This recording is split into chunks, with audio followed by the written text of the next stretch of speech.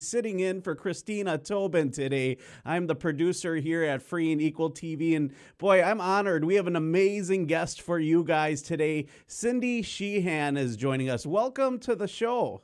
How are you doing? Thank you for inviting me. It's wonderful to have such a historic figure on our show. I didn't even know this. I was looking into it. You have your own like Encyclopedia Britannica like page. I was like, what do you oh, got to do to get in there? Like that's impressive.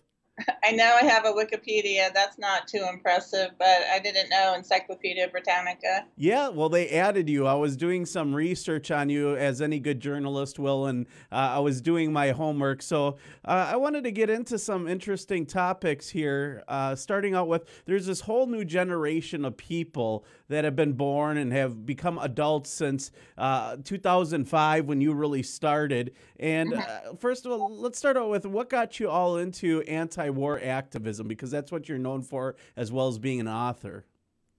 Well, um, my son Casey was killed in Iraq on April 4th, 2004, and I was had been always against wars. My practically my whole life. I grew up um, pretty much uh, during the Vietnam War, and it actually ended when I was still a teenager. So I didn't really do any. Uh, I didn't go to any marches or do any protests against the Vietnam War, but I had always been against war.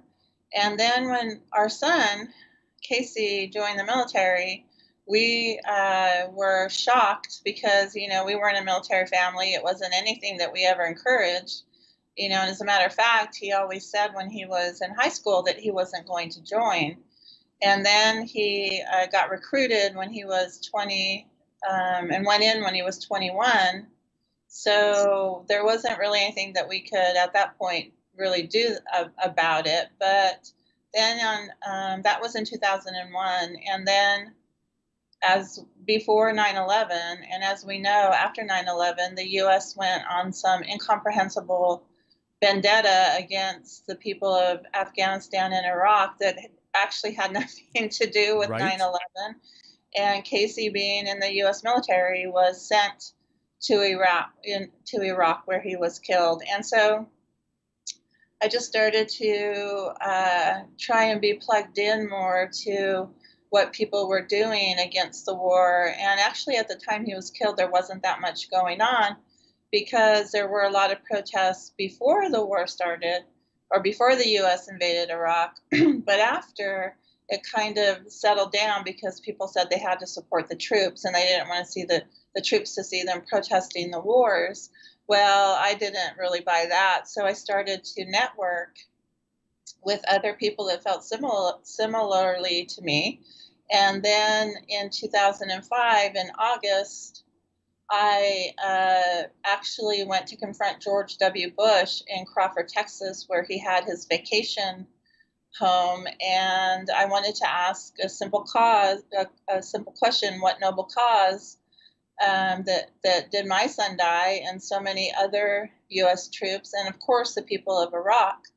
And he, um, I said I was going to stay there until he met with me to answer my question, and he never did. So we set up Camp Casey there, named after my son, and we were there for the month of August. And really, uh, like 20,000 people came out to Crawford, Texas that summer to uh, be with us in camp or you know just hang out a little bit. And then like tens of thousands of people around the world um, and even here in the U.S. had solidarity uh, Camp Casey's with us. So, and then after that, I just uh, since the anti-war movement was reinvigorated, you know, there were a lot of marches, a lot of opportunities for me to get out there to speak and um, I was actually on the media a lot.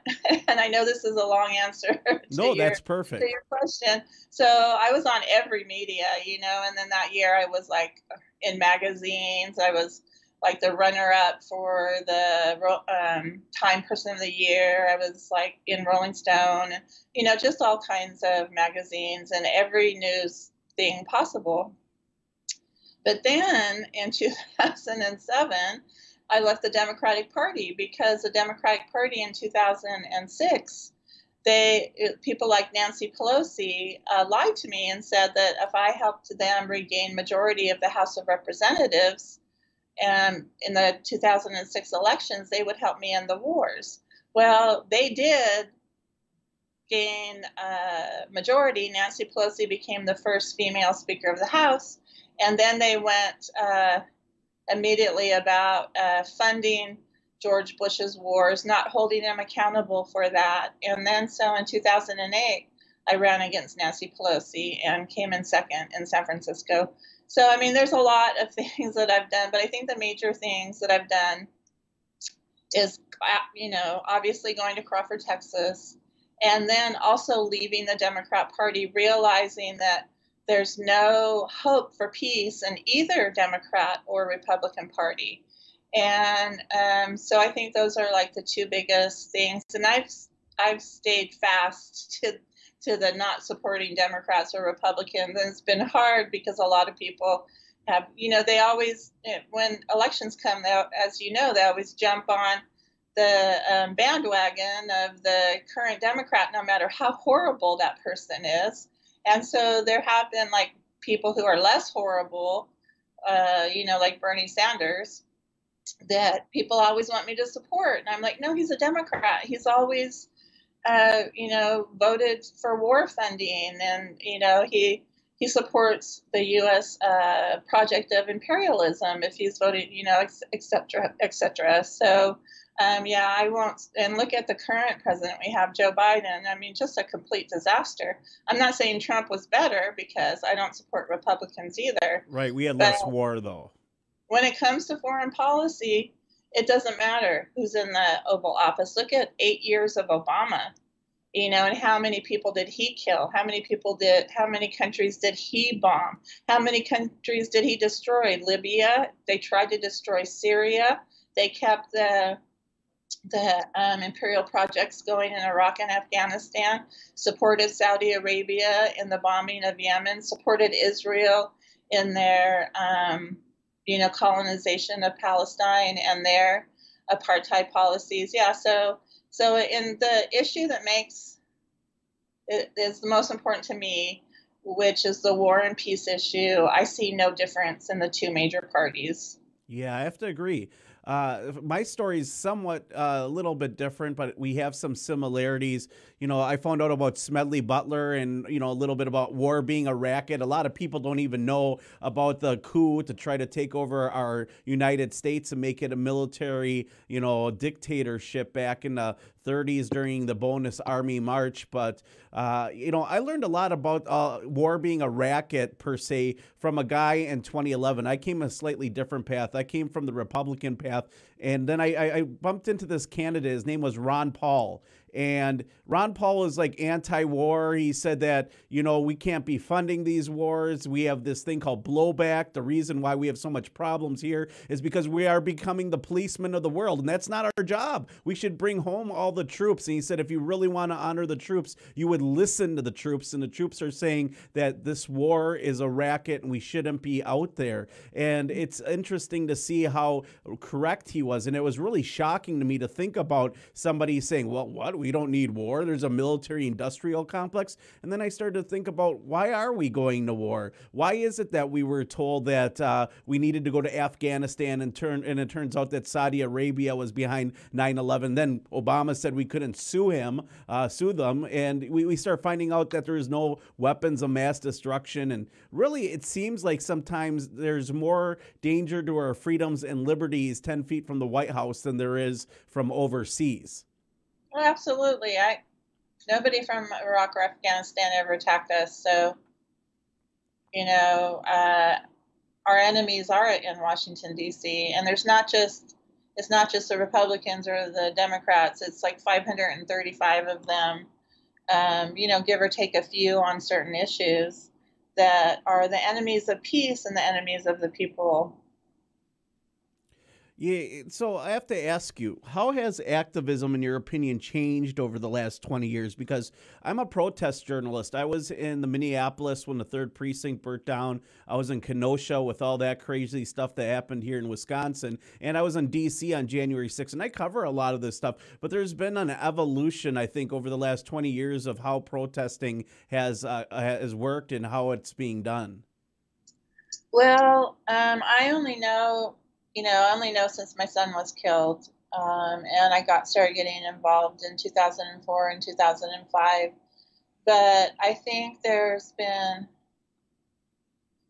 um, how has how has it changed? Well, first of all, there's very little anti-war um, protesting. We tried to get something going when Obama was president. We tried to get something going was when Trump was president just very small results compared to how it was when Bush was president, which is very interesting because Obama just continued and expanded Bush's wars. But you know, when when he was elected, people didn't want to know about his horrendous foreign policy, and they thought that if we protested him, then that would compromise his chances for reelection.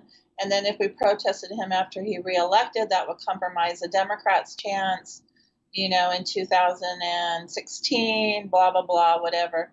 So I think that um, Democrats really uh, have uh, almost killed an anti-war movement.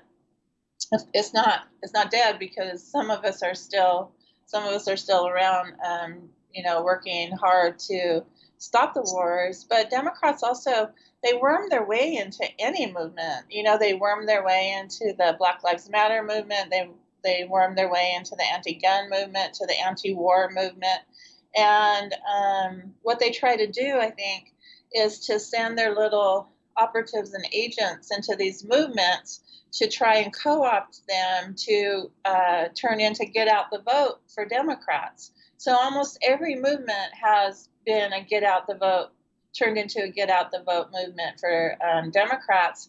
And we've seen that when we vote for Democrats, it's just the same as voting for a Republican. So right. it's not an effective strategy. The only difference between the two parties is the rhetoric. I know at one point in 2012, when Mitt Romney was running against uh, Barack Obama, uh, uh I think 12 of the 18 top donors were the same. So, would there have been an actual difference if Mitt Romney was elected? We would have had Romney Care, which would have been just as unpopular as Obamacare was when it was passed. We would have had, uh, you know, still uh, expansion of the wars. And what we see here is uh, corporatized America. Now, with social media, uh, you know, activism has become more online, but so has censorship trying to prevent certain points of view. I know that rhetoric between the two parties is different, but once they get into voting, when you look at that voting record, there seems to be a major difference, or there's supposed, excuse me, there seems to be very little difference between how right. they all, all vote, you know? Well, absolutely. I mean, you, you see the rhetoric from some of the, you know, the so-called squad and or whatever they're uh, like really radical, like, oh, we need Medicare for all, or we need to end the U.S. funding of Israel, or whatever. And then when it comes to vote, they vote the way that the party wants them to vote anyway. So people don't so much see that as see their their fiery rhetoric and they get all fired up and go, yeah, yeah, they're great, they're wonderful. And um, one thing that has really like harmed uh, the anti-war movement is all of the COVID restrictions that have started happening since last March. And so it's a it's a movement that you can't really do online. You have to be there. You have to be um, in the presence. So you have to be with people. You have to to get solidarity, to get excitement, to uh, you know, I've been arrested over 25 times to put your bodies on the line for these people in other countries to show solidarity with them. And so, you know, because of COVID, we can't really travel. And I find it interesting that, you know, the Black Lives Matter movements, like you said, in Kenosha, and, or the against police brutality, which I think is a really valid um, protest, it seemed to be more like attracting local people as it was like at the flashpoints there were a lot of close people or local people who were able to to muster together to pro- protest the uh, police brutality. And uh, that's apart from the Black Lives Matter movement, which seems to have been totally co opted by the Democrat Party. So, but it's like the seat of power for the anti war movement is Washington, D.C., obviously. You know, we could go and protest at um, at like uh, war profiteers. There, there's a war profiteer in almost every district, or a military base, or uh, you know, a military recruiter or something. But it just doesn't have the same kind of like, okay, let's. We can't say let's uh, boycott Raytheon because none of us are going to be buying drones or anything, you know. Right. So it's just it just is a different kind of dynamic in the anti-war movement. You know, it's interesting you mentioned drones. I remember sitting down and having a conversation in 2013 with a vet saying that there was a drone program, and he was laughing at me and saying, There is no drone program. Now they sell them at Best Buy. yeah, uh, er, there's definitely a, a drone program, and it's definitely um, very uh, unethical, very uh, appalling that people can sit you know, in a base tens, not tens of thousands of miles away and kill somebody on the ground in, in another country and just do that like they're playing Fortnite or something. Right. That's the, that's the new thing. I'm very involved in the futurist movement because I, I, think it's really important to bring up the concerns of the ethical uh, stance people have with artificial intelligence and robotics and cloning and all these uh, super soldiers and animal human hybrids. Which, when when you think that, I'm not talking Minotaur or Centaur. I'm talking about slightly modifying human DNA so they can be more, you know, strong per se or be more resilient to certain right. things. So these are all real conversations we're going to start having with war, where people won't even have to do battle. It'll be like robots doing battle battle with robots, and what happens when the robots are gone? I don't know what happens when the robots lose. You know, and turn on us. yeah, right. And so we we have to start thinking about it. Movies that look like that. It's kind of scary. Yeah, that's what I thought when they started talking about, uh, you know, all those different like Soylent Green and Brave New World, and uh, you know, drones are now being discussed as patrolling, and how robots will deal and be less uh, segregist towards uh, minorities per se if they are police and they're talking about robots. And it's funny, these robots look like Daleks out of Doctor Who, and it's not by chance that somebody did this, you know. Uh, they have that authoritarian feel. We're kind of programmed through Hollywood and the media to accept a lot of this stuff. And, you know, war in the future, I think, is, is fought very differently. I think that now they're deciding that war starts within the nation by causing political uprise, you know, division, divide and conquer. You know, nowadays it seems like in America we don't have the stance for unity for anything. It's, you know, husband against wife, children against parents, this ethnicity against that. You know, it's almost like it's tribal, like we're all on teams. And regardless of what beliefs are underneath that umbrella that you don't believe in or don't agree with, you have to adver- adhere to your team. And to me, that makes it crazy. It's like Americans don't even have an original thought anymore. It's really pitiful, and it's been really sad to see so many of people who I considered my friends, my colleagues, my comrades, really like buy into all the COVID 19 nonsense. And my question to them has always been okay, so we just we know that the government lies about wars. We know the government always lies about wars. There's not one war that the government hasn't lied about, right? And they the media lies about everything. And so we know this. We know that they, like you said, manipulate our, our feelings for uh, their nefarious purposes and keep us divided over, um, you know, relatively silly things when we should be united against them. And they know this divide and conquer. That's what they do overseas, and that's what they do here. But so they're doing this all the time, and we know, and my friends and, and comrades and colleagues know this too. But as soon as they start talking about this new scary virus that's coming, people just like their critical thinking just goes away. They listen to everything the government uh, and media tell them, and I just cannot understand that. You know, so even if there it was a public health threat, and it turned out to be a real public health threat, people should be investigating that on their own and not just taking the word of known liars all the time. It just really has confused me. Well, they've decided to weaponize terms. So they're trying to ban questions, is what it all comes down to. You're not mm-hmm. allowed to ask questions because then it is uh, ideally, it's uh, another term that they like to use is conspiracy theorist. Not that the evidence is, uh, you know, false, just that you are a conspiracy theorist. Like it's a thought terminating cliche that nothing that you have to say has value and it prevents people from acknowledging logic logical fallacies and cognitive dissonance. So they weaponize these words and terms so that you become prey. You know, everyone wants to trust big pharma and, and, and trust government, but wasn't it much not too long ago we were marching on Monsanto? Now you can't turn on the TV without a settlement commercial, but yet we're so able to succumb to consensus science, which isn't scientific. It's trust in humans instead of actually you you know having and using a rational thought. See, fear is a big motivator. I think half the world actually enjoys living in fear now, you know, and it's well, they're, sad. They're, tra- I call it, I say they're trauma bonded. Yes, it's they're narcissistic. It's trauma. They don't want to give up the idea that they, that the, uh, the healthy person that's walking down the street um, next to them is going to make them uh, horribly sick and kill them. you know, they don't want to think that, that, that this isn't like the huge, uh, threat that they thought it was going to be because they really have bonded with that trauma and it's just really like it's pathetic. And another thing that they've done is to this asymptomatic is to make healthy people murderers.